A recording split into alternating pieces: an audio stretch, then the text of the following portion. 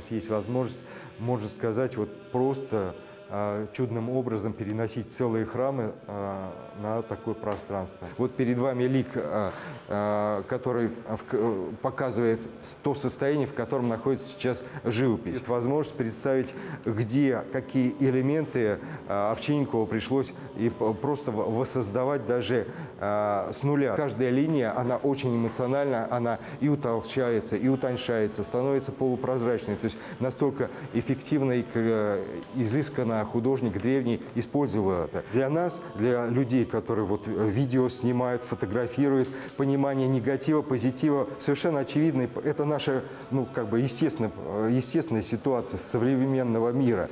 То, как э, художник 15 века дошел до этого, война во многом перемешала, перемешала вот э, многие Э, исторический факт. И как Адольф Николаевич считает, считал, что эта икона должна была просто весь мир пройти и вернуться опять в Россию. Здесь мы сейчас с вами находимся в пространстве удивительного э, памятника э, храма в Старой Ладоге.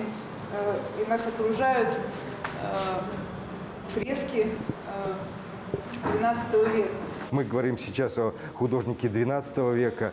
Он действительно, как это происходило, на каком материале это делалось, какая фактура. Вот эти все нюансы, детали позволяют ну, буквально э, увидеть какие-то аспекты которые даже внутри храма вы не увидите. То есть если вы подойдете там к пророкам, в общем-то сейчас, когда вот освещение э, некоторых из этих пророков в боковом свете, вы увидите, что даже живопись э, приобретает такую фактуру. Фактуру, которая реально как бы нас обращает к тому, что до некоторой степени это действительно даже и рельеф. И вот эти нюансы, это э, нюанс, нюансировка, эти детали, детали невольно нас действительно переносят э, вот к таким шедеврам, э, к памятникам древнерусского искусства и, в общем-то, на самом деле дают возможность непосредственно перенестись к некому контакту с этими памятниками. Целеустремленно копировал древнерусскую живопись, изучал ее и, можно сказать,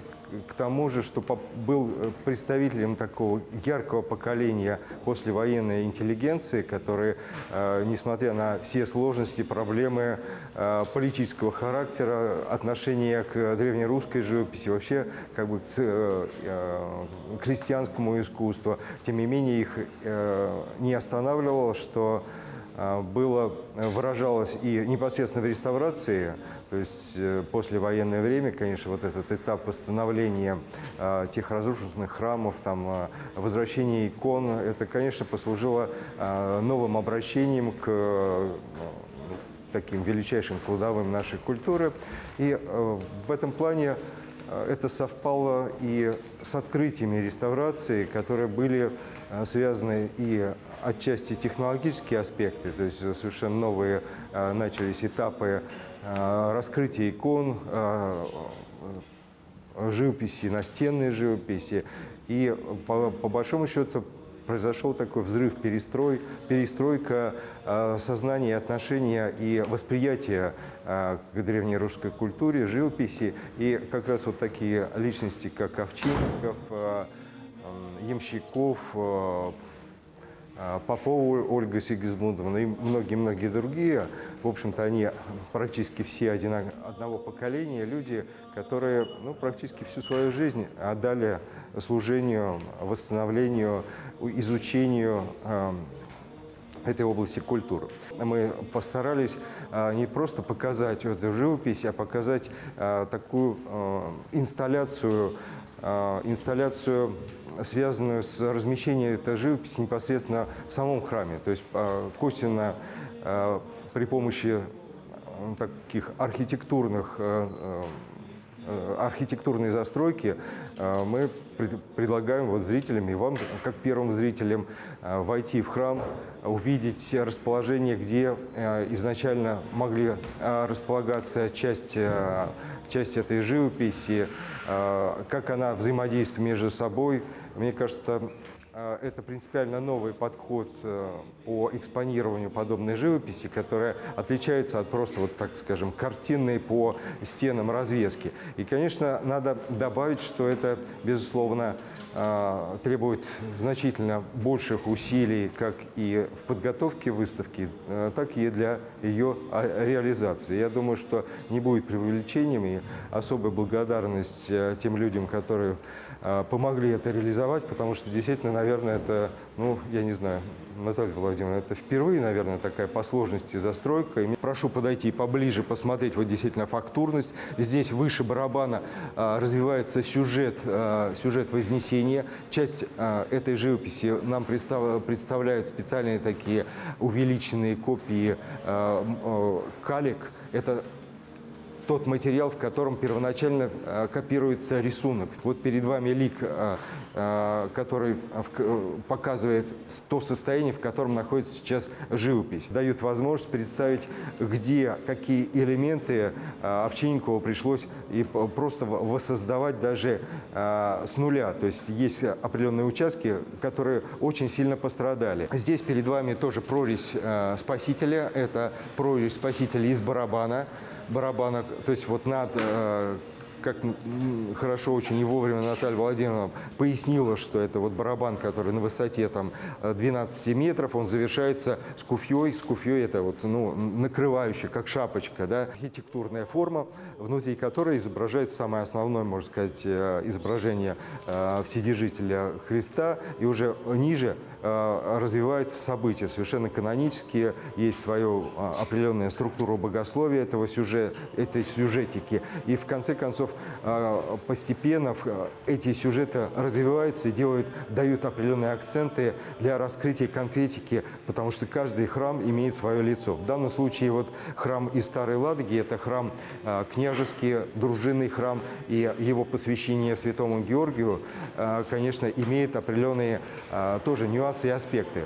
В частности, например, вот э, сам по себе сюжет э, святого Георгия, которого здесь у нас вот э, в диаконной апсиде в таком совершенно небольшом пространстве, и даже трудно представить, и когда человек может сравнить, что рядом вот за вашей спиной вот изображение в плоскости, каким образом вот и какой вообще гений все это изображалось, то на таком пространстве он смог вместить. Там, где находится Спаситель, ниже располагается дверь, то есть проем дверной. И в 17 веке а, над дверным проемом было пробито окно. И сегодня э, в живописи э, Старой Ладоги э, это, этого фрагмента нет. И на основании как бы, взаимодействия разных обращений к разным сюжетам, даже задействованных непосредственно в этой живописи храма, э, Овчинникову вот удалось реконструировать центральную фигуру, без которой ну, просто-таки вот эта колоссальная композиция страшного суда была бы немыслима. И в этом плане вот это продолжение, убедительность этого продолжения ну, характерна вот для его творчества. И кроме того, есть и отдельные отдельные сюжеты вот, практически такого иконного характера, как избранные святые, и в частности вот святитель Николай. Вот это, а, эта копия относится к э, более раннему периоду, и здесь вы видите, что очень много таких включений, которые связаны с состоянием сохранности на тот момент. И в этом плане э, существует и еще один интерес к этим копиям. Э, это связано с тем, что в основном пласт копирую э, тех копий, представленных у нас э, сейчас на выставке, они тоже стали э, определенной историей. То есть сейчас живопись несколько иначе выглядит, и в этом плане можно говорить о том, что часть этой, этой живописи была создана ну, практически полвека назад. И, в общем-то, это тоже является определенным таким уже историческим наследием. Я предлагаю вам пройти в следующий зал. Вот покинули сейчас Старую Ладогу, буквально перешли сразу в 15 век. Это живопись небольшого храма в селе Мелетово, который посвящено, посвящен э, Успению Божьей Матери. И, конечно, вот если в XII веке это большие достаточно э, взаимодействия и привлечение опыта византийской живописи, культуры Византии, то вот в XV веке и э, в живописи Псковской а это именно относится к этому периоду, сам по себе храм был построен в 1465 году и буквально на следующий год был расписан. Для нее характерна совершенно и другая колористическая гамма, и другое рисование, и другие даже технологические аспекты и моменты. То есть вся живопись, например, в отличие от э, живописи, которую можно э, назвать откликом на византийский опыт, здесь уже э, появляется определенная самобытность, начиная даже с колористической гаммы. То есть вся живопись построена на ухристо-коричневых тонах, плюс включение фиолетового или так называемой рефти. То есть это серая краска, которая э, очень легко, элементарно готовится. Это э, белила известковые, и к ней добавляется уголь. И в результате получается такой серо-зеленый цвет. Вы можете увидеть вот на той композиции, улицы, и вокруг они пространство а, а, насыщают. Этот храм и вообще выставка а, первая, связанная с этим храмом, когда мы впервые вот сделали такую инсталляцию, похожую инсталляцию с воссозданием барабана, чтобы показать вот э, как и в какой мере вот эта живопись ложится на стены, потому что полная, а, полная протяженность, окружность барабана э, со всеми сюжетами вообще около 13 метров. В данном случае мы основную часть показываем, самую основную ключевую. И, а, конечно, в этой живописи вы опять же сможете посмотреть, вокруг у нас целая полоса таких фотографий.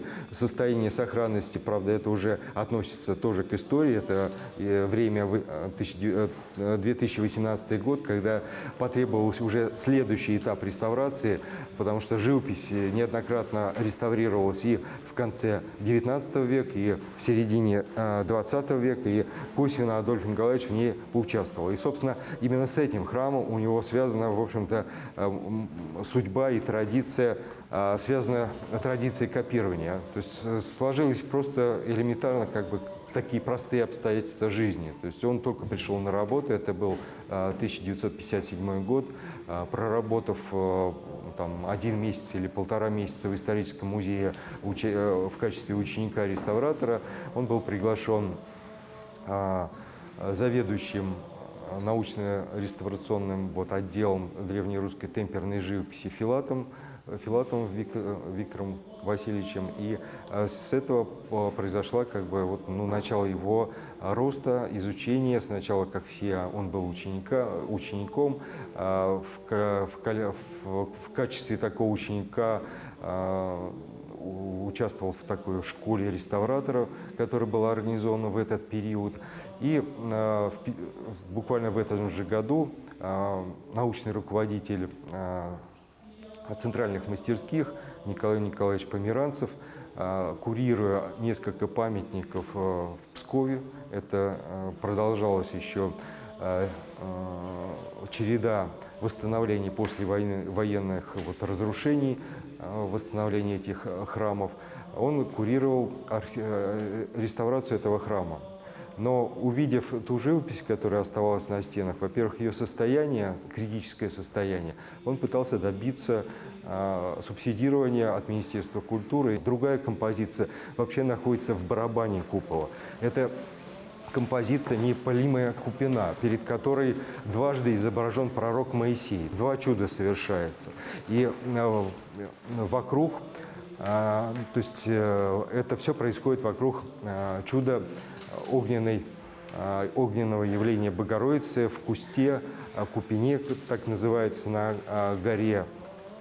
И Конечно, вот э, сам по себе, если обращаться к сюжетике, сам по себе вот этот контекст, он довольно редкий, никогда не изображается в барабане купола. Опять же, приблизительно так же, как в куполе Старой Ладоги, мы находимся с вами, вот предстоя этой живописи, на высоте 12-13 а, метров. То есть вот у нас как бы вот эта а, инсталляция, эта, а, эта выставка позволяет ну, буквально так это летать по воздуху. И на самом деле сама по себе живопись, она именно к этому и обращается. Конечно же, будучи в храме, вот в отличие от Старой Ладоги, в этом храме специально по-прежнему в течение ну, нескольких десятков лет сохраняются специальные э, реставрационные просмотровые леса. То есть можно подняться на самый верх.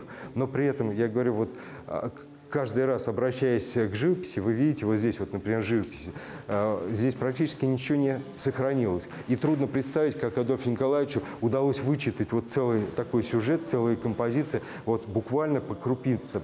И, конечно же, это величайший труд, который э, складывался не просто по мановению такому, да, он приезжал, начиная э, с конца 70-х годов, ну, был перерыв вот в 50-х годах, он сделал несколько копий, а уже в конце 70-х он уже приехал туда опытным таким реставратором и э, человеком, который понимал и уже трактовал это. И, конечно, в этом плане тут стоит отметить, что вот понимание этой живописи, она связана и с определенным историческим контекстом. И в этом плане, что Э, та копия первоначально 1957 года, э, ну, обращение и искусствоведах, изучение этой живописи, понимание э, взаимодействий общих таких культурных процессов, они позволяли на новый уровень уже перенести и изучение, и копирование этой живописи. То есть, на самом деле, вот, расположение огненной купины до некоторой степени это производит идею исихазма. Исихазм сам по себе это э, и исхождение э, божественного света. И на самом деле вот это настолько сложная такая богословская структура, и тем более, наверное, сложно, а как ее даже и показать, и как ее визуализировать. И в этом плане удивительным образом является вот э, та живопись, построенная на таких ограниченных э, цветах, появление вот этого фиолетового цвета, который тоже очень редко, когда появляется в живописи, причем в таком количестве. И вот эта лучистость, то есть э, лучистость самого, самой живописи, основных таких категорий света, они позволяют между тем вот, дать возможность и обратиться к этим идеям богословия. Ко всему прочему, Адольфу Николаевичу удалось изучить более глубоко и сделать определенные э, для себя тоже выводы, которые настолько убедительны, что, в общем-то, все, э, начиная с 80-х годов, цитируют, обращаются к его выводам говоря об этом храме. При полном ощущении, что это фреска, это стена, это монументально, Адольф Николаевич выработал специальную технологию. Я небольшой такой экскурс проведу. Э, он делал э, специально подготовленные листы бумаги, размером, получается, вот некоторые из них по несколько метров, то есть самая большая композиция у нас достигает 5 метров, и покрывал ее Э, несколькими специально подготовленными слоями грунтов, который включал э, даже крупицы мрамора, крупицы других каких-то камней, которые создают вот эту фактуру визуальную, идентичную, абсолютно идентичную живопись непосредственно на самом в самом храме. После этого он использовал э, перетертые пигменты, минеральные перетертые пигменты, именно те пигменты, аналогичные тем, э, аналогичные, э, опять же, аналогично использованные художниками. И это достаточно легко определить определить при помощи микроскопа.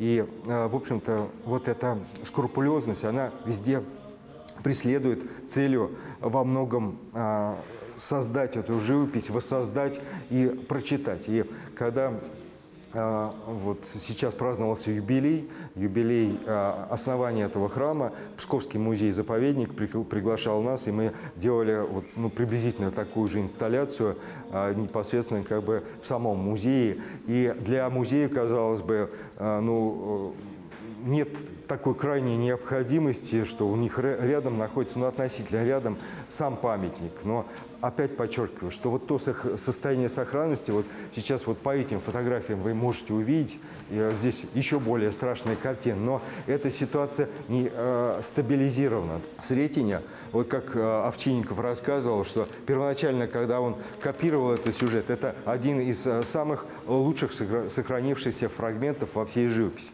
то ну, визуально, ну, э, он очень по-простому объяснял, и это очень хорошо запоминалось. Ну, что же, говорит, художнику было лень закрасить вот э, цвет грунта, это как раз вот бежевый цвет, цвет штукатурки. Ну, наверное, неаккуратно, наверное, как-то... И закрасил-то он как-то, видите, неровненько, как-то вот нибы крив, кривенький, все как бы кривенько. А на самом деле, когда начинаешь это рассматривать в комплексе, казалось бы, такой нюанс а позволяет увидеть, что на самом деле вот это небо. оно серое, оно имеет некий такой материальный акцент и аспект восприятия, а под ним как будто бы проявляется нечто светящееся. То есть э, вот то, что дает иконы и должна стремиться подать икона, а, собственно, показать мир невидимый. А в данном случае, для данного исторического периода, э, самым ключевым становится подача вот этого внутреннего, исходящего от святых и от Спасителя Божественного света. И это превращается в определенную программную систему. То есть если обычно изображение предполагается условно объемным, и эти изображения выстраиваются с помощью вот такой колористической, последовательной э, наложения цветов, от темного рисунка по краям э, постепенно к светлому и завершаясь пробелами, такими акцентными ударами, то здесь же мы видим на изображении Богородицы негативное то есть получается так, что вся ее фигура на самом деле светится, и лишь наоборот самые светлые участки становятся негативным. И, конечно, когда в это вникаешь, становится просто, ну, просто а, ощущаешь потрясение. То есть на самом деле для нас, для людей, которые вот видео снимают, фотографируют, понимание негатива, позитива совершенно очевидно. Это наша, ну, как бы естественная, естественная ситуация современного мира. То, как э, художник 15 века дошел до этого, что самое светлое, оно ослепляет. А как это передать? А это можно передать тем, что это как бы э, переходит в какое-то черные такие или темные э, изображения. Другой акцент, э, тоже смысловой. Если говорить о тексте, если вы говорите о любой книге, естественно, что э, текст должен быть читаем. Это просто очевидно и понятно. В данном случае мы видим свет, на этом свитке белым по белому написано. То есть человек, не, э, который передает эту живопись, не стремится к прочтению. Оказывается, э, даже слово, э, цитируемое на свитке, становится на второй уровень относительно того, что из себя представляет это а, а, слово как таковое. То есть это тоже есть божественные мысли, это божественное слово, это тоже энергия. И к этому еще надо добавить, э, довольно большие и продолжительные споры были у всех исследователей этой живописи. Всех очень сильно смущало, что в большинстве ликов а, а, глаза изображены белым. То есть и этот момент э, имел самые различные версии, в том числе, что э, темные там э, зрачки просто были написаны каким-то цветом, он облетел или э, переродился и стал светлым. Длительное изучение этого памятника Овчинников привели к совершенно очевидным результатам, что да, первоначально именно белые зраки были изображены. Опять, обращаясь к нашей э, сегодняшней ситуации, для нас это тоже не вновь. Мы смотрим, э, начиная с каких-то мультиков и фанта фантастических фильмов, где э, пришельцы действительно обладают светом. Но на самом деле вот эти идеи, эти э, понимания, эти, эти линии понимания, они восходят, ну трудно, наверное, даже и представить, что вот там э, идея там вот светящихся глаз сегодня, да, там какого-нибудь фантомаса, на самом деле косвенно базируется на э, практически архетипах того, того сознания, а как должны изображаться э, ну, святые, да, как изображается свет. И э, в контексте этого храма это возникает буквально разговор и общение взоров. То есть весь храм пронизан вот этими взорами, и они вызывают определенное такое взаимодействия и с сюжетами, и своеобразно откликаются на, э, даже на те композиции, потому что большинство этих композиций располагаются в таких кулуарных участках.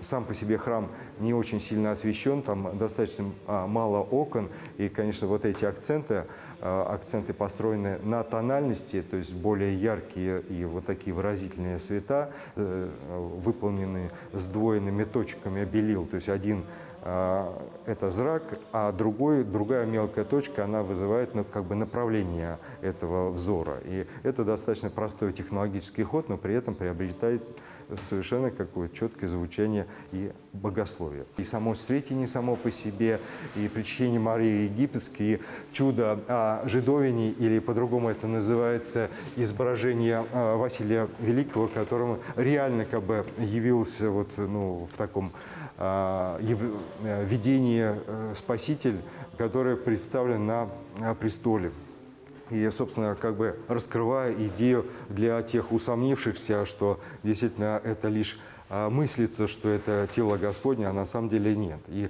как раз это ответ, опять же, на какие-то э, ереси, которые достаточно активно атаковали и псковскую, и новгородскую, новгородскую жизнь в то время. В среде и специалистов, и э, не специалистов более известна была новгородская живопись. Новгородская со своим акцентным красным цветом, со своей яркостью, со своей условностью.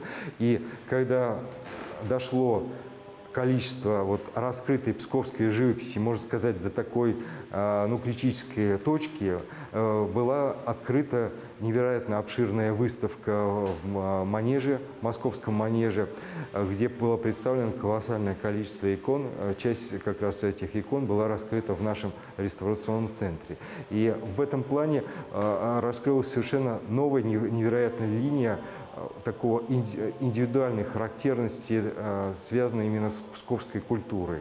И среди прочих э, нужно отметить, что именно вот раскрытие этих икон позволило некоторые иконы реально как бы соразмерить их историю, с происхождением с конкретными храмами, конкретными там, историческими датами.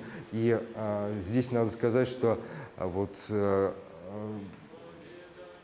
война во многом перемешала, перемешала вот э, многие э, исторические факты, в частности, вот несколько икон, вот, например, этот Деусус, в результате того, что э, коллекция Новгородского и Псковского музея была вывезена немцами в Германию, и возвращена только после военное время, несколько эшелонов вернулось. И в результате э, технических там, э, ну, просто выявления, ведь многие иконы э, были под слоями записи, а на них оставались только э, маркировки, причем чаще всего немцы оставляли только немецкие маркировки, а номера э, Российского музея, они как бы затирались. И в результате многие иконы поменялись местами, то есть часть, например, икон, происходящих из Пскова, оказались в Новгороде. Часть икон, которые а, происходили из Новгорода, таким же образом оказались в Пскове. И лишь э, работа по раскрытию этой живописи э, исторического контекста позволила выявить вот эти э, перемещения. В частности, вот эта икона Деисуса, она происходит из Варваринской церкви а, из Пскова, она оказалась в Новгородском музее. Но получается так, что поскольку музейные собрания, они э, в основном проходили все равно через центральные мастерские, то есть через наши реставрационные мастерские, это позволяло буквально совмещать эту живопись и понимать а, а, в них общие характеристики, начиная там с капельки носа, как это все изображается, какая-то пластика рисунка, что это было вот еще и таким конкретизирующим а, открытием. И э, в этом плане э, хочется отметить и определенные детали, которые позволяли э, по-новому эту живопись и увидеть. Вот эта икона также из Псковского музея, на самом деле чисто технологически она вот, ну, совершенно отличается от того, что можно сейчас увидеть в музее. То есть с чем это связано? Чаще всего, ну просто чисто технологически получается так, что э, древние иконы написаны на деревянной основе э, по левкасу, по специальному материалу павлыки, э, отшлифовано, покрыто золотом, а потом несколько слоев э, написано яичные темперы, и на поверхности живописи оказывается вот золотой так называемый асист, который Э, накладывается уже непосредственно по живописи. И, конечно, в силу своего бытования, а бытование связано с тем, что довольно часто, ну, а мы даже не задумываемся сегодня, в каких условиях вообще э, и эти памятники, это живопись а, находилось. То есть, если, если, например, даже сравнить там, с Италией или с Грецией, то есть откуда у нас традиция и, и иконного письма, и каменного строительства, и фресковой живописи, то, конечно, там а, прежде всего нет морозов а значит кардинально нет перепадов. И, конечно, нет, а что такое нет перепадов температуры и влажности? То каждый храм, на самом деле, вот большинство этих храмов, и в частности вот эти два храма, которые а, по-прежнему сохраняются без отопления, чтобы в большей степени сохранить те устоявшиеся условия на протяжении веков. А, в них поддерживается тот же самый климат. Единственное, что возникают специфичные а, регламенты, в частности, вот даже в Мелетово или в Старую Ладогу. Вы можете туда приехать, приехать, а из-за погоды вы просто не сможете войти. То есть это сделано именно для того, чтобы э, дольше продлить жизнь непосредственно фресок. И последней, можно сказать, завершающей точкой является творчество Дионисия. И здесь представлена, с одной стороны, икона Адигитрия, э, которую многие искусствоведы считают, считают из э, тоже автором ее Дионисия, и фрагмент росписи Ферапонтова монастыря. И в этом плане хотелось бы еще маленький акцент э, поставить, потому что довольно часто это бывают даже такие истории а, ну, приобретающий детективный характер, многие памятники, несмотря на свое значение, являются э, порой частью частных коллекций. В частности, вот, например, вот Адигитрия, она а, впервые была а, замечена Адольфом Николаевичем, как он говорил, в 70-х годах. После этого она пропутешествовала, была перекуплена, перепродана несколько раз. Она была и в Новой Зеландии, и в Америке, в Австрии. То есть это целая линейка какая-то вот путешествий. И как Адольф Николаевич считает, считал, что эта икона должна была просто весь мир пройти и вернуться опять в Россию. И она была представлена на а, замечательной выставке в Третьяковской галерее. Сейчас вот тоже ее расположение неизвестно, но у нас есть возможность, по крайней мере, иметь возможность а, в натуральную величину а, представить этой прорези. У нас над этой выставкой, по-моему, помимо ее технологического э, сложного такого архитектурного решения, есть еще свои секреты реставрационного характера. То есть вот для показа этих, э, этих, этих копий, особенно вот фресковых копий, была создана специальная технология в себе совмещающая, совмещающая э, новые совершенно материалы, применяемые для реставрации а, графики, то есть предметов э, графического искусства, и реставрации масляной живописи. Вот эти такие условные серые паспорту, они специально наклеены, а их можно демонтировать, но за счет этого у нас есть возможность, можно сказать, вот просто а, чудным образом переносить целые храмы на такое пространство. То есть и, в общем-то, знакомить публику и всех интересующихся с древней русской живописью, и тем более, что удивительно, с живописью монументальной. По факту своему названию это монументальное, что это непереносимо. Это, ну вот, мы нарушаем некие такие физические законы. Аллилуйя.